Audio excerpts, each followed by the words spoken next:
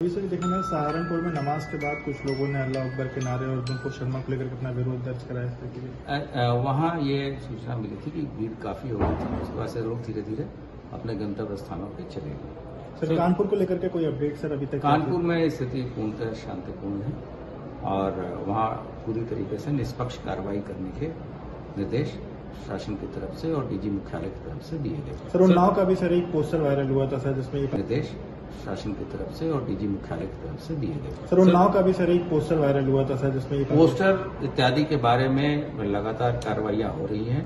ये विशेषकर वो लोग हैं जो माहौल को खराब करना चाहते हैं और इसमें कोई किसी धर्म से कोई लेना देना नहीं। जहाँ भी इस तरह के धार्मिक उन्माद फैलाने के इंस्टेंसेस आए हैं वहाँ गिरफ्तारियाँ की गई हैं और उसमें सभी धर्म हैं। सर दिल्ली में माहौल वहाँ पे लोग इकट्ठा हुए हैं क्राउड हुआ है नुपुर शर्मा के खिलाफ म- कहा जा रहा है कि कड़ी कार्रवाई की जाए। तो दिल्ली का असर सर यूपी के जो ज़िले हम लोग पूरी तरीके से सभी स्टेक होल्डर के साथ बात कर रहे हैं और यहाँ पे स्थिति पूर्णतः शांतिपूर्ण और कंट्रोल है। ठीक सर